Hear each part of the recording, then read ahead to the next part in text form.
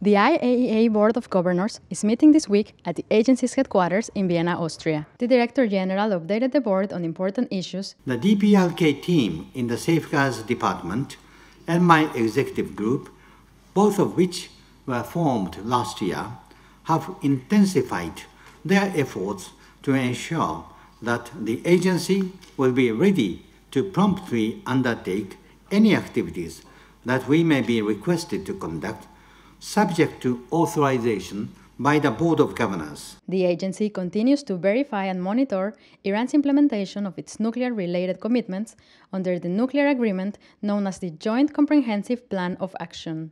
The agency has conducted complementary accesses under the additional protocol to all the sites and locations in Iran which we needed to visit.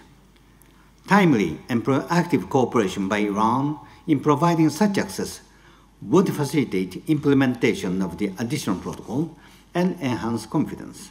The Director General also emphasized many of the sustainable development activities of the agency, including agriculture. Varieties of rice, which are tolerant of drought and resistant to blast disease, have been developed in Egypt, while Namibia has developed higher yielding cowpea and sorghum which are also resistant to drought.